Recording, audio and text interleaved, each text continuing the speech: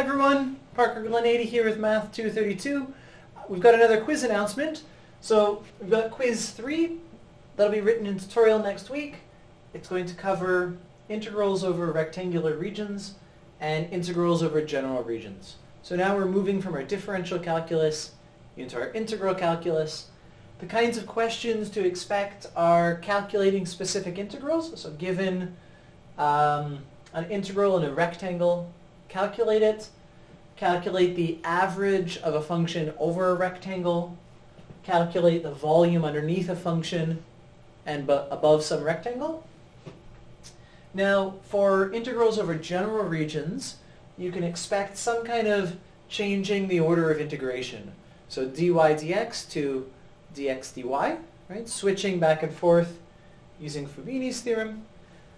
There'll be some sort of question about setting up an integral, right? So you've got, you've given a region, just set up the appropriate bounds to calculate that integral, and then there'll be some kind of material about calculating areas as volumes. Okay, so you can expect a question about a rectangular region and a question about a general region. Good luck!